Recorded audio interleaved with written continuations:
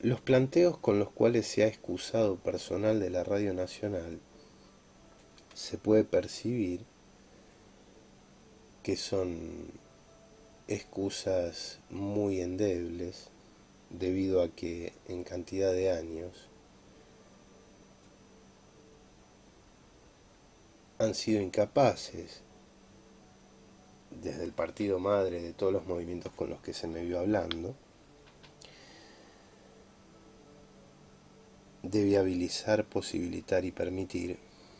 el mínimo ejercicio de cualquier ínfimo derecho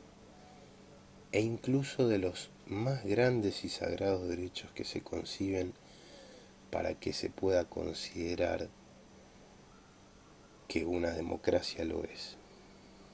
Y aunque lo tomen a chiste y hagan burlas al respecto, es tan definitivo y serio como eso.